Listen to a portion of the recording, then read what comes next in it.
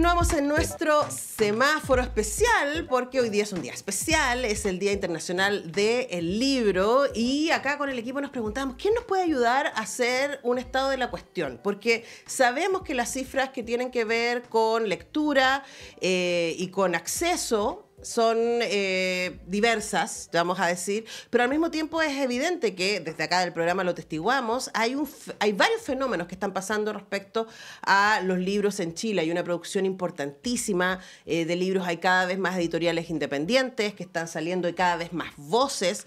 Eh, también está todo el fenómeno Booktuber, que a mí me parece que es súper, súper fascinante.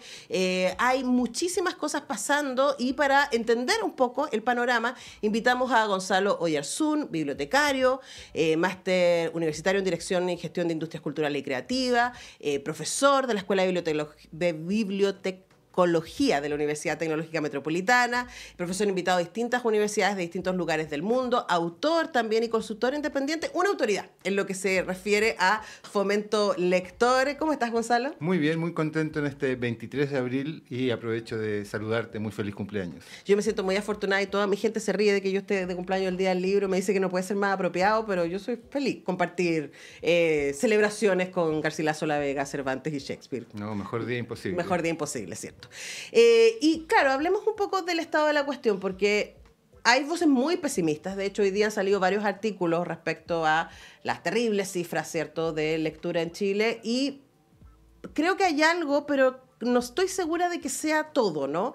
Entonces, hablemos un poquito de cuál es tu impresión del estado de la cuestión en términos de lectura. Empecemos por ahí. Claro, yo, yo siempre creo que hay que poner un punto de vista. Eh, estamos, estamos peor, peor que el ayer o el año pasado, eh, quizás no ir, no ir con líneas tan cortas. Eh, efectivamente, en Chile hay más editoriales que nunca, hay una vida editorial muy grande, pese a que están separados en cuatro organismos, cosa que no pasa en ninguna parte del mundo. Nuestro mercado es chiquitito, están separados en cuatro, pero tenemos una cantidad de editoriales fabulosa. Hemos perdido un poquito la feria, eh, la feria del libro de Santiago, pero hemos ganado en la Furia del Libro, en la Primavera del Libro, en, la FAS. La FAS. Hay un montón de actividades que son realmente ricas y que... O sea, este mes, la cantidad de ferias del libro que hubo. Eh, impresionante. En todas partes, en los colegios se están haciendo ferias del libro, eh, incluso en regiones ha tomado mucha fuerza, ha, tenido dos... Eh, dos momentos en la Feria del Libro de, de Bio, Bio que se hace en la Universidad de Concepción, que es absolutamente fabulosa. A mí me, ha tocado, me tocó participar en la primera y organizar un encuentro con bibliotecarios en la segunda, y me pareció un ambiente muy similar, en pequeño, en muy pequeña escala, a lo que, a lo que es Guadalajara no todo sucede en Santiago, hay una, vida muy rica eh, que está sucediendo, que está aconteciendo respecto del libro, la lectura y las bibliotecas eh, fuera, de Santiago. El año pasado fui, por, por primera vez se hizo y me invitaron a la feria de Temuco, a la feria del libro de Temuco, y también ahí están pasando cosas. Eh. Así es. O sea, primeras veces están, están empezando a suceder. Entonces, pero, pero hay unas que tienen más, más trayectoria. Antofagasta tiene trayectoria, eh, Viña del Mar tiene una muy buena trayectoria. Son más pequeñas, son de otra escala. Pero esa gente que vive en Viña, que vive en Antofagasta, jamás va a venir a las cuatro ferias que organizamos al año nosotros aquí en Santiago. Y ahí a mí me pasa eso, ¿no? Porque uno ve las cifras y uno escucha, y, uno escucha una y otra vez, la gente lee cada vez menos, a la gente no le interesa, pero luego uno va a una feria del libro, como varias de las que se hicieron este fin de semana, y ve que está lleno. Uno ve a los, a los escritores y escritoras firmando, uno ve la efervescencia que hay respecto a los clubes de lectura, por ejemplo, que yo no recuerdo que haya existido esa misma efervescencia hace 10 años atrás. Quizás son las redes sociales también, no lo sé, pero pareciera que hay un movimiento pero también pareciera ser que hay una parte de la población que no participa de ese movimiento. Yo te diría que desde, desde hace tres décadas, sobre todo con la incorporación eh, del, Consejo del Libro y la Lectura, eh, de las bibliotecas públicas, de las bibliotecas escolares, que, este año cumplen 30 años, justamente, eh, se, ha venido incrementando no solamente el número de bibliotecas, Hoy hay prácticamente el doble de bibliotecas que las que habían hace 30 años. Eh, hay 11.000 bibliotecas escolares. Hay, como nunca, número de editoriales, decía, pero también de librerías. Probablemente, claro, hay una alta concentración en Santiago y sobre todo en las tres comunas, y, en fin, o en cinco comunas en Santiago en este caso. Pero hay más libros, hay más libros circulando, muchísimos más libros circulando. Hay muchísimas más bibliotecas hay muchísimas más bibliotecas públicas y escolares. Eh, bueno, no sé, entonces, ¿qué, ¿para qué se hacen esos libros y para qué se hacen esas bibliotecas? Hay mucha actividad en, en, regiones, en la biblioteca se va permanentemente. Solo en las bibliotecas públicas municipales de la región metropolitana se prestaron más de 200.000 libros el año pasado. Eh, eso es un dato que hay que mirar. O sea, la, los libros están más vivos que nunca es cierto que también hay un ambiente que la gente dice, ah, pues, nos fuimos a todo lo digital, pero las bibliotecas que más prestan en el mundo son las bibliotecas digitales. En Chile tenemos, en Brasil eh, hay una, en España este año creció en un 35% el préstamo de libros en digital. Entonces, se lee, yo creo que como nunca en la historia de la humanidad, se ha leído tanto como hoy día. Ahora, al mismo tiempo pasa que tenemos este, este contradiscurso al respecto, ¿no? Eh, y quizás eso me, encantaría que lo pudiéramos ver, porque también está esta idea de que gracias a las redes sociales y a esta nueva manera de leer, la gente lee menos o lee poco, se queda con el titular o no tiene capacidad de concentración. ¿Cómo ves tú eso? Mira, eh, el, punto más clave es que los niveles de alfabetización que hay eh, básica, digamos, de, letrada, son también los más altos en la historia de la humanidad en el mundo. Eh, siempre ha habido distractores para la lectura. Antes era eh, la radio. La radio, no, la gente no lee porque ahora escucha todo en la radio. No, la gente ya no lee porque lo ve en las películas. No, la gente no lee porque lo ve en la tele. Y hasta el día de hoy hay más editoriales y hay más lectura que nunca. Yo creo que uno tiene que aprender a aceptar la diversidad. No todo el mundo lee por placer, no todo el mundo lee por, eh, por, eh, por, entusiasmo, simplemente, no, hablo ya solo de literatura, eh, hablo de, libros de historia o libros de, de salud o libros de leyes o lo que sea. Pero la mayoría de la gente lee. En Chile estamos hablando de cerca del 50% que lee con frecuencia y de manera voluntaria al año. hay estudios, los estudios son bien imprecisos, más, más precisos son los de, los de analfabetismo funcional. Y ese es el gran enemigo de la lectura. No es los otros distractores, no es la televisión, la radio o, el TikTok. eso incluso pueden ser incentivadores de la lectura. Hablábamos recién de los booktubers. De un booktuber que que tiene, eh, no sé, miles de seguidores y que habla de libros clásicos que ya nadie lee. Un chico, le mandamos un saludo al Joaquín, al Árbol Lecturas, que eh, siempre está con su polera al Colo Colo, que habla muy coloquialmente, diríamos también, pero recomienda clásicos. C.S. Lewis, el, famoso escritor... Eh, de las crónicas de Narnia, entre otras. Decía que cada, cada cuatro libros, uno de ellos tenía que ser...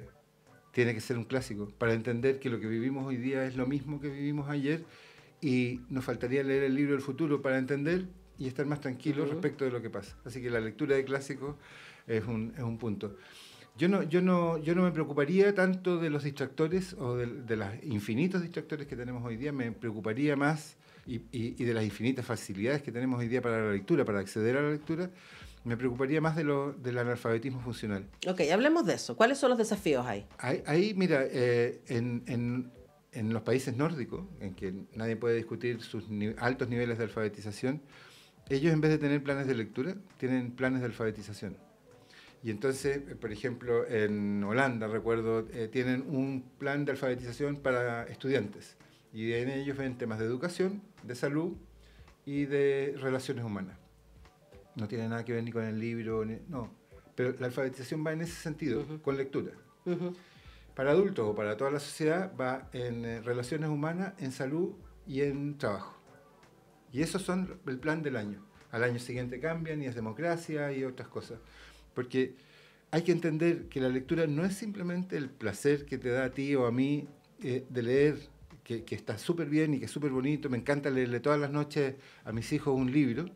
Eh, lo, esperan, digamos, con ansiedad y es un castigo si no se los leo. Pero, pero la lectura es mucho más que eso. La lectura es salud, la lectura es trabajo, la lectura es democracia. Eh, y cuando, cuando no ponemos suficiente atención, en realidad estamos dejando de poner atención a la salud, a la educación, a la democracia. Eh, así que yo creo que hay que centrarse más en cómo leemos, no tanto de si estamos leyendo o no, sino cómo estamos leyendo. Estamos entendiendo los códigos, estamos entendiendo bien. Y, ahí yo creo que, tenemos que preocuparnos, digamos, de, cómo hacemos nuestros planes, de cómo, de cómo planificamos. Mi preocupación, yo traigo sí una preocupación bastante grande porque, porque un poco desalienta, eh, son las bibliotecas escolares. Eh, el presupuesto para las bibliotecas escolares se ha reducido eh, de manera impresionante en los últimos años. Este año es el presupuesto más bajo de toda la década. El, el año 2017 teníamos 7.300 millones para comprar libros en las bibliotecas escolares.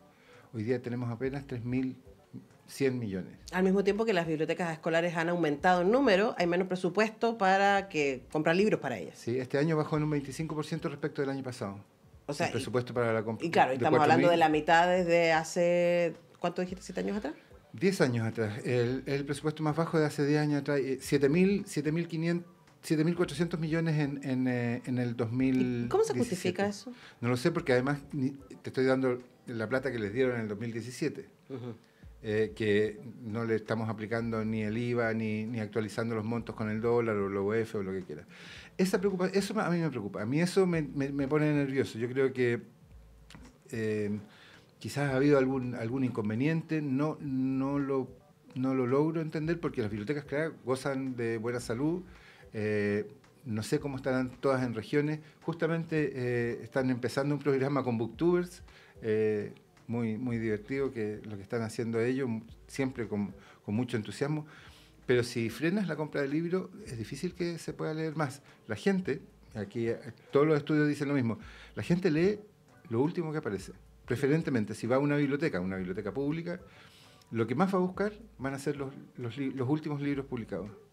Eh, entonces, tenemos que, yo creo que incrementar, aprovechar que el año pasado se presentó la política del, de la lectura, el libro y las bibliotecas para aumentar los, presupuestos para la compra de libros.